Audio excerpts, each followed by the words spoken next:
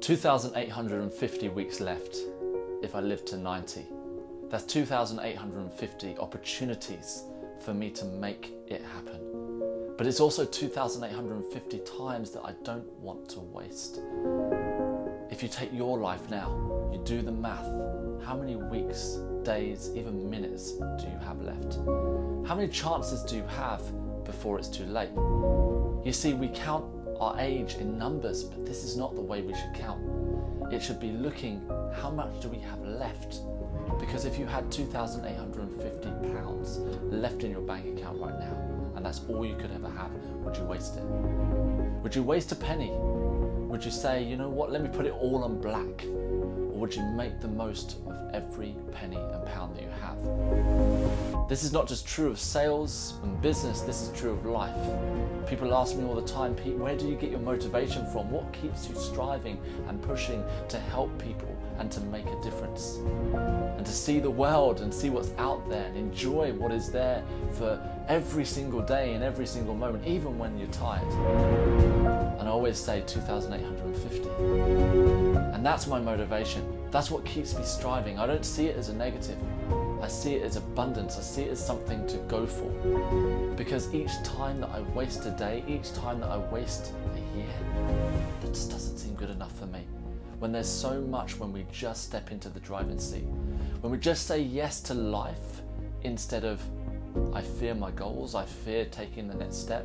If we say yes to selling your product or service, if you say yes to influence, if you say yes to giving your best no matter what, it's incredible what you can achieve because even though it might, might not sound like much, 2,850, if you take each day at a time and you wake up and you decide or actually you choose your attitude, your mindset, even your body language that you bring to the day. And you say, no matter what, I will take on the right mindset today. I will take on positivity. I won't let my challenges become who I am. I will overcome them. I will find a way. I'll find the people to surround myself with that inspire me, that make a difference in my life, and I do theirs too. If you do this each day, it's incredible how 2,850 can seem like a lot. So, what are you doing with your 2,850 or 3,000, even 4,000 if you're a little younger than me? Because 4,000 can be a lot.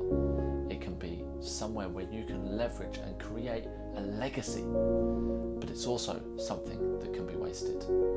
It's only down to you to decide if you make the most of each day that you have, if you spend, or should I say, invest your time wisely to make that difference that you know you can. I know there's something in your life where you say to yourself, I can do better, I can make a shift, I can make a change. But maybe you're going to this nine to five that you hate and you keep putting this thing off week after week. But every week you put off is another subtracted from that overall figure. The question is, how much are you willing to spend before you say yes to what you're really meant to do?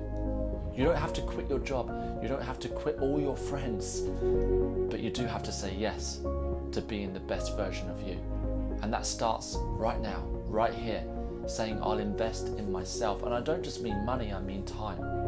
Invest in yourself in attitude, invest in yourself in deciding in your mind that you will give your best.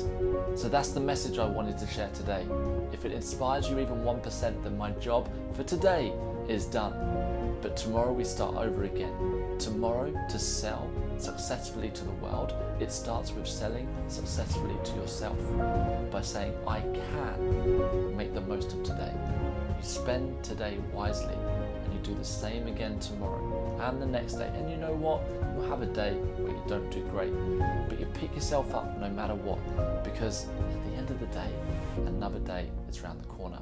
You just need to make the most of what you've got. Don't spend your time wishing and waiting.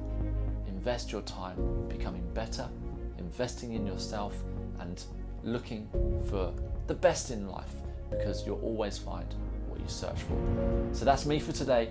I look forward to tomorrow. Feel free to share this if it's inspired you, and I'll catch you in the next video.